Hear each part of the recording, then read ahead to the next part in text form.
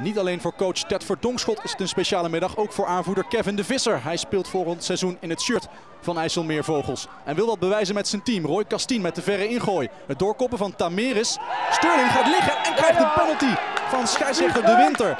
Een hele lichte overtreding van Buitenhuis, de centrale verdediger van IJsselmeervogels. Een prima verre ingooi. Het is een soort halve corner. Het doorkoppen van Spits, Tameres en Sterling voelt dat Buitenhuis in zijn rug loopt en gaat liggen. Castien gaat dan achter de bal staan en maakt het 1-0. Want Castien vanaf 11 meter, dat is eigenlijk altijd raak. Zijn vijftiende van het seizoen en 1-0 voor HFC dat een beetje in zwaar weer verkeert, want het wint maar weinig. Maar in de eerste helft is het oppermachtig.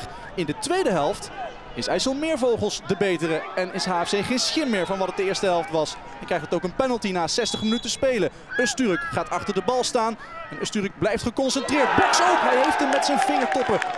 Maar het is niet genoeg om de 1-1 te voorkomen. En dus kan Usturk zijn zesde van het seizoen maken.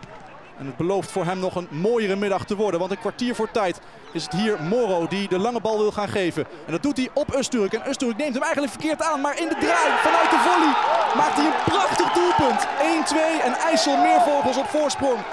Knuffelen, jazeker, met de meegereisde fans. Het zijn er veel vanuit Spakenburg. Goede voorzet van Moro. De aanname is wat minder van Usturk, maar vanuit de draai doet hij dat geweldig.